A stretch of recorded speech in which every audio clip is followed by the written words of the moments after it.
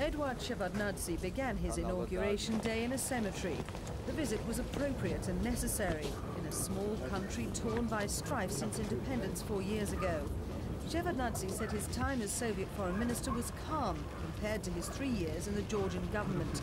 As Georgia's second popularly elected president, Shevardnadze has vowed to rebuild the country. That will be a difficult task, even though he won 74% of the vote two weeks ago. Some internal opponents have shown they're willing to use force to get their way, and Abkhazian separatists are still holding out in the northwest.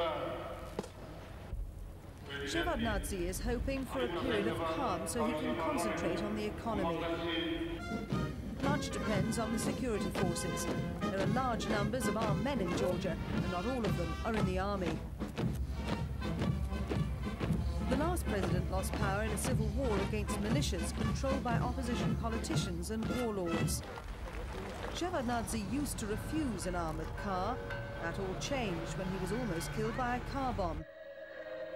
As a popularly elected president, Shevardnadze hopes the strife is behind him. After an army salute to mark his inauguration day, he was given a public blessing by the Georgian Orthodox Patriarch. There are many who believe he will indeed need divine help to bring Georgia together